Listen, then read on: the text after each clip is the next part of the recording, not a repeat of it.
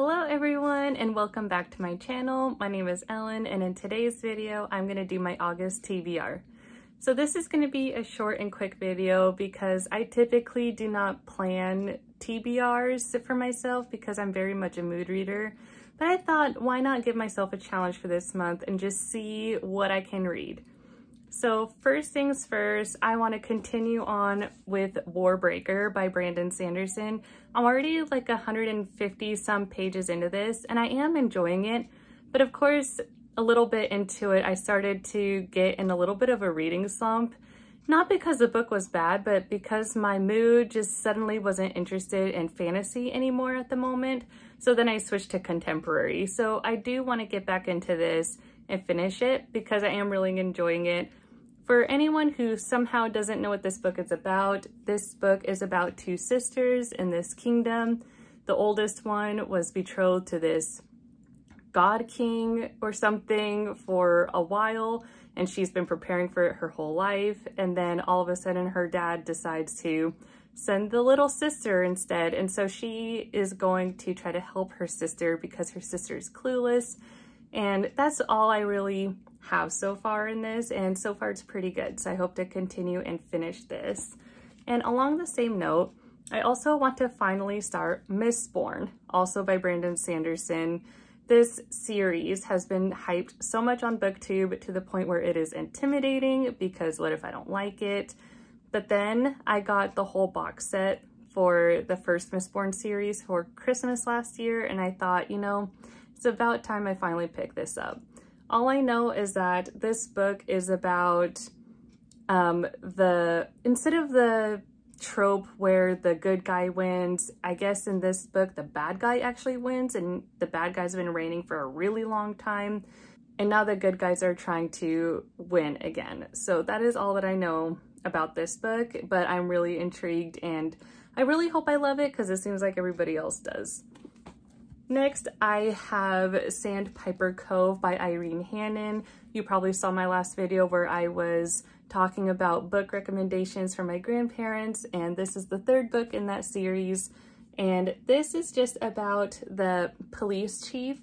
Her name is Lexi, and she is a single mom police chief in Hope Harbor. And then there is a guy named Adam Stone, who apparently is an ex-con. I don't know how that's gonna work out, but it's intriguing. So I'm looking forward to getting to this one. Next, I have Breasts and Eggs by Mieko Kawakami. She is going to Tokyo from Osaka to see her younger sister Natsuko. So it just kind of talks about their lives. Pretty much it's about this woman who travels with her daughter to see her younger sister Natsuko and this woman's from Osaka. She travels to Tokyo and is kind of talking about like some trauma that they had in their childhood and a lot of the struggles that they have with just like their bodies. That's the basic thing that I know about this book. And also, I'm doing a buddy read with one of my new booktube friends. Her name is Prashanthi, and we are reading another book by her, which is called Heaven. So that one's also on my TBR. We're to be finishing it in the month of August, so I'm really excited to get to that one.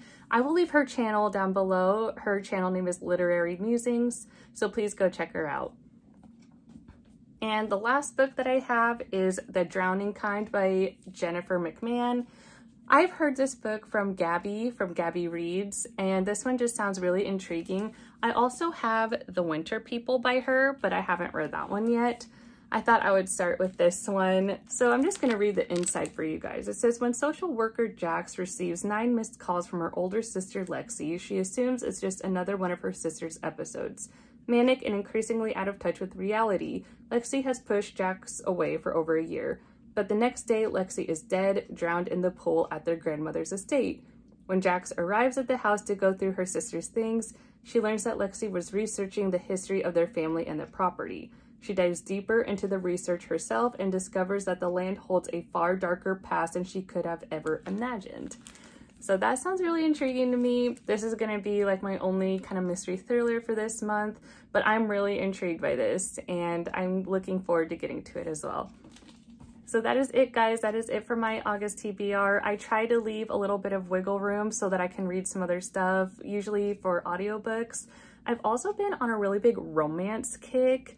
So I'll be talking about my July wrap up soon, but oh my gosh, I've been reading or listening to a lot of good historical romance books. So I'm probably going to be throwing some more of those into my TBR as well, but I just don't know which ones yet as of this point. Thank you so much for watching and comment down below. Let me know what you guys are reading this month. I'm really excited to hear what you guys are reading. And let me know if you've read any of these books or if you have any interest in any of these books. I'd love to talk to you guys. And until next time.